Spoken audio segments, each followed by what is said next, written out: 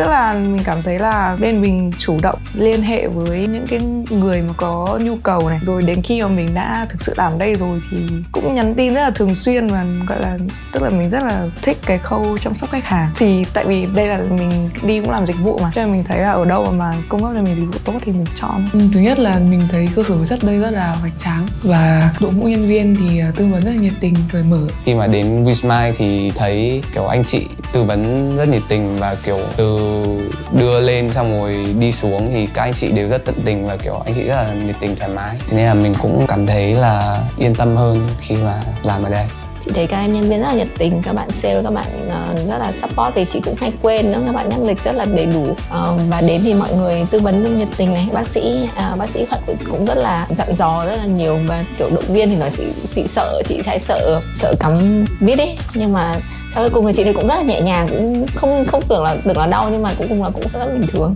Chăm sóc rất là nhiệt tình không lúc mình không phải đi một mình lúc nào cả đi lên cũng sẽ có anh chị đưa lên mà đi xuống cũng có anh chị đưa xuống. Mình không phải làm tức là mình không bị bỏ một mình lúc nào cả ấy. Thực ra là bởi vì ngày xưa ấy da của mình mọc khắp khỉnh chỉ vì là mình rất là sợ. Sợ đi uh, nhổ răng. Mình rất sợ cái không khí của phòng khám. Vì nó rất là mùi thuốc sát trùng nhá xong rồi nó lạnh lẽo kiểu lúc nào nó cũng rất là lạnh luôn á. Nên mình rất là sợ.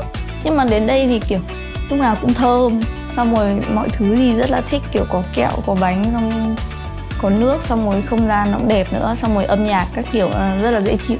Đó, nên là mình quyết định là thôi làm luôn.